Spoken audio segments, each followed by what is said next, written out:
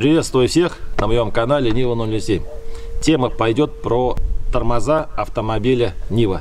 Автомобиль Нива пятидверный, ноябрь 2018 года, пробег 50 тысяч. Почему я заменил все тормоза на новые? Давайте по порядку. Так как мы катаемся по грязи, по какому-то бездорожью, э, все суппорта у нас, барабаны после песка забиваются песком, грязью, потом едешь неделю-две, там все шкрябает. Вроде пытаешься быстренько заехать на мойку, все там, да, бьешь, моешь. Кажется, что все классно, все помыл, но 50 тысяч, и у меня начались проблемы. В движение еду, включая нейтралочку, свободного хода машина как будто прицепил. Парус, да, начинает останавливаться. С каждым разом все это хуже, хуже, хуже было. В один прекрасный момент еду, прям включаю нейтральный, она у меня просто останавливается. Думаю, что за фигня? Думаю, наверное, э, ручник там меняли, мы, думаю, наверное, перетянули. Заехал, ослабил ручник, вроде ход есть, все. Опять начинаю двигаться, включаешь передачу, набираешь скорость, включаешь нейтральную передачу, и машина останавливается. Начинаешь тормозом играть, вроде то поедет, то не поедет. Ну и начали разбираться, в чем причина, показываю. Показываю, как устроены передние тормоза. Вот он суппорт. У него три поршня. Вот они. Раз, два, три поршня. Тут ходит у нас тормозной диск. Вот они, две колодки. Подается давление. Три поршня начинают давить вот эту колодочку. Колодки прижимает и автомобиль начинает останавливаться. То есть за счет вот этих двух колодок, которые мы меняем, тормозной диск сжимает, происходит трение и автомобиль начинает замедлять движение. Когда мы э, тормозим резко, да, они, естественно, жестче цепляются и автомобиль идет юзом. Показываю, что у меня случилось. Это мой родной, который установлен был с завода на автомобиле. Я уже его помыл, так как я его снял, пытался его реанимировать. Как это все происходит?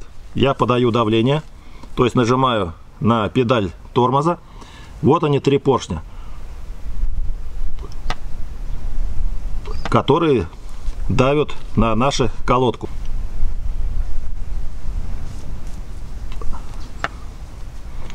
Вот они поршни. Со временем здесь вот установлен сальничек внутри, сейчас его нету у меня. Цилиндры не вытаскивались, все настолько заржавело, что ни один цилиндр мы не могли вытащить. Между прочим, всю информацию, когда я заезжаю в сервис или, или в другие места, всегда вся информация есть в телеграм-канал Нива 007. Нас там много, очень много грамотных людей, которые вам подскажут по ремонту автомобиля, так что переходите телеграм-канал Нива 007, там можем с вами общаться. Так вот, когда я заехал в сервис, ни один поршень мы не могли вытащить. Вот такой пыльничек идет сверху, одетый. Вот так это все. Здесь есть канавочка, куда пыльник, который защищает от грязи, чтобы туда не попадала ни вода, ни грязь. Но когда мы с вами заезжаем на мойку, начинаем бить, давление высокое, все-таки рано или поздно у нас туда попадает грязь. Или они рвутся, или еще какие-то нюансы бывают. То есть сюда у нас попала с вами грязь, мы с вами э, до конца вымыть не смогли. За счет вот этого сальника туда грязь дальше не попадает, но вот в этом расстоянии происходит вот что с поршнем. Показываю. Поршень мы выдавили с высоким очень давлением. Вот, посмотрите, тут уже ржавчина. И это с учетом того, что я уже его реанимировал чистил, пытался любым способом очистить. Он был весь ржавый. Вот здесь вот, как видите, раковины, на поршне ржавчина. То есть теряется гладкость вот этого поршня, и по сальнику он уже не ходит. Тем самым, когда вы нажали на педаль тормоза, он, например, вышел, а назад уже не, не может зайти. Тем самым происходит заклинивание. То есть поршень заклинил, вот, Пожалуйста, посмотрите. То есть поршень вот в таком положении, например, вышел, а назад он уже зайти не может. И у вас, например, работает всего один поршень. То есть два у вас заклинило, а один более-менее работает. Тем самым что происходит?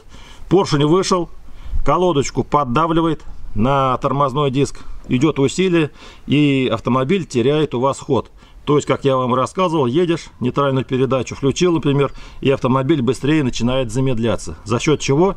За счет того, что суппорт у вас вышел из строя. Ну, не сам суппорт, а в основном вот эти вот механизмы. Все это, конечно, меняется. Меняется э, сальник, меняется пыльник. По сути, это нужно делать, ну, раз в год. Всем ребятам, кто катается по бездорожью, вот эти вещи раз в год. Разобрать, посмотреть, почистить, пока нету ржавчины. И будет ходить вечность. Самому суппорту, в принципе-то, никаких нюансов у него нету, как видите. Но вот эти поршеньки, есть, продается ремкомплект, все можно купить, заменить и все будет работать. Но я их снял, почистил. Свои проблемы я поделился в своем телеграм-канале Нива 07, где ребята с разных регионов мне стали подсказывать, что якобы можно поставить от восьмерки туда, можно поставить от газели суппорт, от соболя, там с одним поршнем. Э, есть суппорт вот как вот эти вот с тремя поршнями, а на соболе один большой такой поршень идет. Возможно, это даже и лучше, потому что он, если один заклинит, уже понятно будет, а там три, какой-то работает, какой-то не работает, вот как в нашем данном случае. Посмотрел, что передние суппорта от Соболя, если покупать полностью диск, переходную пластину, да, там надо переходную пластину ставишь, вот, сам диск получается больше, тормозной, есть еще вентилируемые, есть не, не вентилируемые, суппорт больше и тормозные колодки сами по себе больше. Они в 15-16 диски наши умещаются, то есть э, без проблем, все крутится, нигде ничего не, не сделает. И якобы тормоза будут намного-намного лучше. Площадь прижимания да, колодок лучше, то есть тормоза у нас эффективнее. И у нас зашел разговор, если поменять задние барабанные тормоза и установить дисковые тормоза. Тоже промониторил интернет, многие ставят от восьмерок, но надо колхозить. Надо какие-то переходные пластины, надо то, ну, то есть сложности есть в этом. Говорят, вроде как бы эффективнее тормоза, то есть получается у нас и передние, да, если мы от Соболя поставим, и задние дисковые тормоза, у нас получается как на иномарке. То есть раз и машина встала. И ребята показали мне ссылочку с группы Автовектор. Это они находятся производство Ростов-на-Дону. Позвонил, пообщался. Недешево. Говорю сразу, недешево.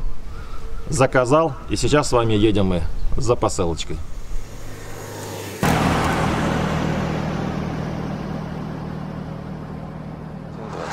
С утра съездил в транспортную компанию, забрал коробочку. Коробочка весит у нас 40 килограмм еще не скрывал. Сейчас с Александром ее достанем, скроем, посмотрим, как заявляет автовектор, что без всяких переделок якобы дисковые тормоза должны встать.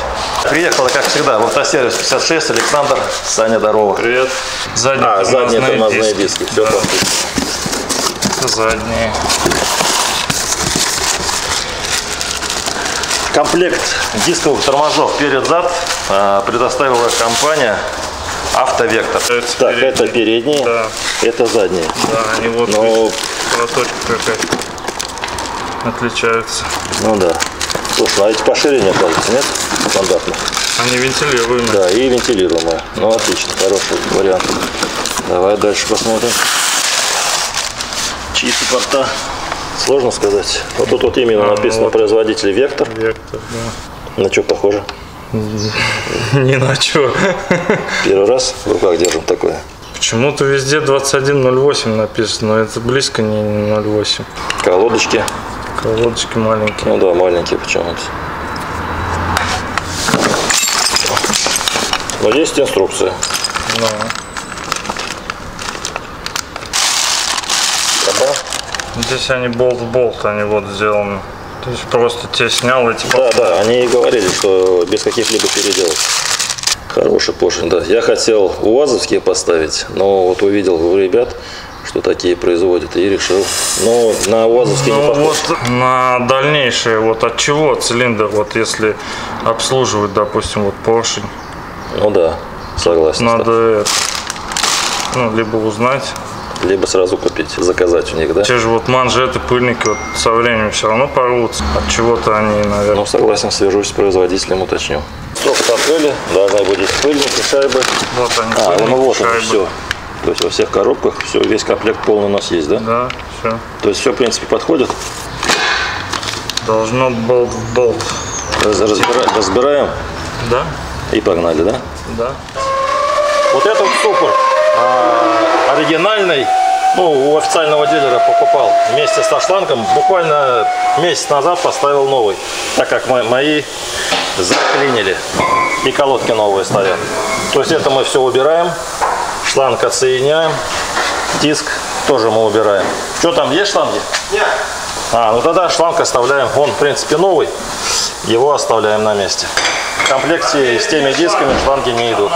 Это заводской и новый от компании Автовектор. Но он на порядок. Ну, посмотрим вот так. На сантиметр. Да? Примерно на сантиметр он пошире. Ну и будет, да, охлаждаться лучше, так как они идут, будут вентилировать. Накинули, в комплекте идут два болтика под, под потай, да, что это называется? Да, Под потай и под крестовую отвертку. Потому что родные шли под гайку. Да, по обычный болт. Да, под обычные болты. Вот он. Вот. Но здесь уже в комплекте все идет. Какой-то Нет, смазка, вот смазка. А, медная смазка, да? Да. Смазанный. То есть производитель уже все смазал, все готово, правильно Да. я понимаю, да? Да, ставь и пользуйся. Передние колодки не идут, но край. Вот родные колодки, нивовские, они сюда не подходят. То есть здесь, здесь нужно или А где другой? соболевские с пружинками, да? Я их еще Да. Короче, надо посмотреть и поискать сейчас. Нашли нюанс. Вот э, стоит родной шланг. Если у вас лифт, то он будет в натяг. То есть нужно шланг будет удлинять. Сейчас буду снимать и искать поменьше шланг. Без лифта встанет нормально. С лифтом, то есть он прям, вот видите, в напряг идет. Вытаскиваем полуось, снимаем чехол, труб, трубку мы открутили. У нас остается датчик АБС. А, полуося у меня, полуось у меня разгруженного типа от производителя АВТ. Ну и заодно вытащим, посмотрим состояние. Звонил производителю от Форда первого, передние колодки вот они. Колодкам определились, передние колодки у нас от Соболя подходят. Вот так сейчас покажу. Вот. Получается сам тормозной диск Соболевский, вентилируемый, но пошире. И у нас колодки тоже получается теперь от Соболя. Смотрите, родные колодочки, Нивовские и Соболевские колодочки. Насколько здесь они шире, то есть должны намного эффективнее оттормаживаться. Все. От ТВТ.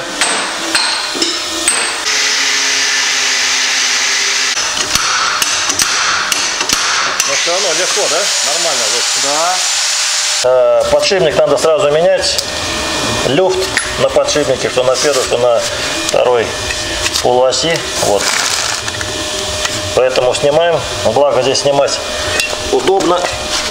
Вот гайку откручиваешь, снимаешь. Это АВТовская полуось. И по им купим новые подшипники.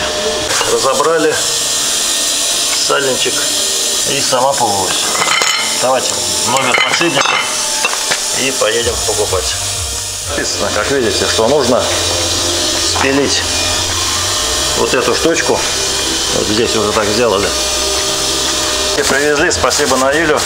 Ссылочки оставлю. Вот так тоже можно заказать, вам их привезут. Так, что за подсветники самарские. Сейчас посмотрим с вами. Вот такие вот сложности. То одно, то другое, то это надо, то то надо разберешь его и все. Все, подшипники есть, устанавливаем. Подшипник хотел смазать.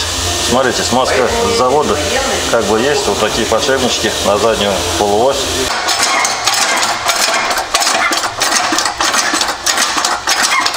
Хорош.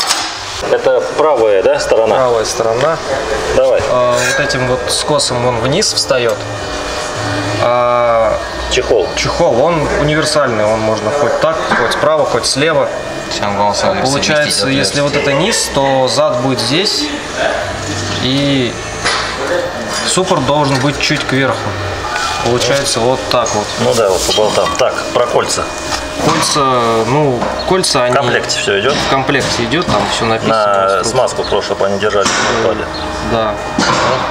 Так, и Пластина универсальная, левая, пластина правая. универсальная. На левую сторону надписью вверх, надпись да? вверх, а на правую На правую вниз. сторону надписью вниз. Есть инструкция полностью, книжка, там все прописано. Так, ну все, можно ставить. А можно сначала полуось ставить, а потом собрать на месте. Ну, тут опять же у тебя просто разгруженный полуось стоит. да, то, что у меня Можно раздельно, а кто будет устанавливать? если там- заводские, не разгруженные, если вот эта часть убежали. не снимается, то да, сначала снимаешь, Один. пол полностью одеваешь и Вот потом вставляешь. стороны. Портами с тормозными вот этими дисками идут уже болты. То есть 7 тиза, в принципе, все предусмотрено. Э, Болты чуть подлиннее, гайки, все есть в наличии. В принципе, на весь комплект все болт в болт подходит и все метизы присутствуют. В сторону мы повесили, все собрали. То есть колодочки вставили. Наименование производителя, вектор, диски, Теперь нужно подключить ручник. Будем заводить вот таким образом. Отсюда, чтобы угол как бы не ломать. А, трубку тормозной системы нужно будет переводить здесь и заводить вот отсюда. То есть здесь будем крепить и идет шланг. То есть трубку с суппортом будем соединять шлангом, который идет в комплекте. По передним суппортам, смотрите, вот он шланг заводской, который короткий. У нас есть магазин в городе Веха. Э, Вот ребята привезли мне шланг подлиннее, э, где-то сантиметров на 8 подлиннее, то есть он будет хватать ему. Первый привезли, там была резьба мелкая. Сейчас вот все четенько у нас. Сейчас поставим, прокачаем. Так что кому нужны штанги, магазин Веха. Между прочим, когда я делал лифт задний, задний вот эти вот шланги тоже я увеличивал, тоже покупал магазин Веха. Вот все по резьбе подходит, все отлично. С какими трудностями мы столкнулись? Когда стали устанавливать новый шланг, здесь у нас он не влазил, так как ну, головка потолще. Просто распилили, ставили и зажали. То есть он никуда не денется. Хотели прос- просверлить э, елочкой, но тут, во-первых, и неудобно, но вот такое решение. Ну, проверили, что все держится и никуда это ничего не денется. Гайку затянули, все затянули. Переходная пластина, все на месте. Сейчас будем устанавливать суппорт. Порта, с суппортами идет вот такой ключ специальный. Здесь суппорта они не вжимаются, а выкручиваются. То даже когда э, ру- ручник поднимаешь, она вот так, хоп, типа выкручивается, как бы по резьбе получается, да? Правильно? Да. Вот. Для этого вот есть ключ, когда нужно разобрать, собрать, то есть нужно выкрутить или закрутить. Устанавливаем диск. Здесь по-другому не поставишь, да? Да, здесь везде дырочки. Все, дырочки Где есть. надо, где не надо. Так, 21, 21, 35, 02, 071. Как я говорил, все метизы в комплекте присутствуют. Устанавливаем скобу. То есть оно, покажи, э, вовнутрь да, заходит и зажимается болтами, правильно? Да, тут еще шайбы. Да, и внутри, во- то есть между ними ставится шайба. Правильно? Станционные шайбы, для того, чтобы ничего не чиркало, девало. Да. Болты тоже в комплекте идут, да? Да, Все в комплекте. То есть между пластиной и скобой еще шайба ставится. Здесь и здесь, да? Да. Ну все, затягиваем. Устанавливаем суппорт. Фиксируем. Тизами это именно вот задний ручник собирается. То есть сейчас мы одели такую трубочку, которая вот сюда вставляется. Резиночку. А, там у тебя в шланге осталось. А, вон она, да, вижу. Все, ручник мы с тобой, да, сделали, получается. То есть он зашел за амортизатором и здесь. Так, а крепить как-то будем мы его? Крепить мы на стяжке, на вот сюда, где датчик АБС. Да, наверное, так мы его и провод закрепим. Все, давай дальше. Так, показываю, что у нас получилось. Трубка у нас длинная. А, Завальцевать сейчас нечем, она металлическая. Мы решили вот так ее укоротить. Вокруг моста сделали. Вот она выходит. Вот она вышла. Идет э, крепление в наборе хомутом за мост прижимается. После трубки идет шланг тормозной.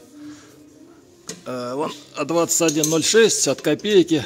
Сейчас покажу. Вот так. Вон идет шланг. И все. И в суппорт заходит. Рядом ручник. С этой стороны покажу. Так, вот она трубка. Трубка идет, идет, идет, идет. Через мост. Соединяется со шлангом. Пока вот так. То есть с правой стороны у нас именно получилось вот таким образом. Если будете заказывать передний или задний комплект дисковых тормозов, ну, знаете, что это не быстро. Мы уже тут часа три примерно. Вот есть инструкция у ребят. Здесь все четко прописано. Мы сами, то есть собираем, видим, что-то как-то у нас не получается. Инструкцию открыли, посмотрели. Все сходится. Согласно инструкции, все четко. Чего-то, чтобы не хватало, такого нету. То есть болт-болт, гайка-гайка, все прям комплект четенький. Передних дисковых тормозов поставили, шланги все подсоединили. Так, задние тормоза тоже повесили, все затянули. Тросики, шланги, все у нас на месте. Сейчас мы вешаем колеса или, наверное, так будем прокачивать тормоза. Около 5 часов в сервисе, но все равно потратили мы очень-очень много времени. Повесили мы диски, диски на 16 суппорта, как видите, у нас не мешают. Мне кажется, даже, наверное, 15 диски можно поставить, но не факт. Но 16 диски встают легко. С этой стороны так, все нормально. Пошлите посмотрим, что у нас получилось с задними. Так, сзади теперь смотрится вот таким образом. Суппорта тоже не мешают дискам. Так, изнутри. Здесь смотрится теперь вот так. С другой стороны, мне кажется, когда снег, грязь, наверное, минус, а может быть и плюс. Не знаю, время теперь покажет. Главное, чтобы рез- результат был хороший по оттормаживанию. Потому что на родных, где барабаны и ну, сзади барабаны стояли, а впереди колодки, все равно тормоза были, ну, не было таких, чтобы прям в пол они уходили на юз. Так, все, прокачали, все повесили, все затянули. Теперь только на трассу и будем пробовать. Так, ребята, с автосервиса 56 я выехал. Ребятам большое спасибо за помощь в установке тормозов дисковых перед-зад. Мы потратили по времени 6 часов. По дополнительным расходам. Э, шланги 650 рублей на передние суппорта. Э, на полуоси подшипники новые по 600 рублей, по 650 рублей у Наили какие-то старые образца, говорит, нашел, говорит, ну, на самом деле, такие интересные самарские еще. Вот, смазочки добили, хотя там была. Ну и колодки передние от Соболя 800 рублей. Это плюсом ко всему. Тормозные шланги передние, удлиненные, покупал вот в этом магазине Веха автозапчасти. Кому надо, звоните, заказывайте. Любые, в принципе, шланги можно подобрать под любой автомобиль. После того, как выехал с автосервиса, проехал примерно 3 километра. Остановился, вот заехал в поле, посмотреть, что происходит с дисками. Потому что еду, слышно, что там все притирается у меня. Ну, колодочки, да, конечно, здесь такие маленькие, смешные почему-то. От Ford Focus первого как мне сказал производитель.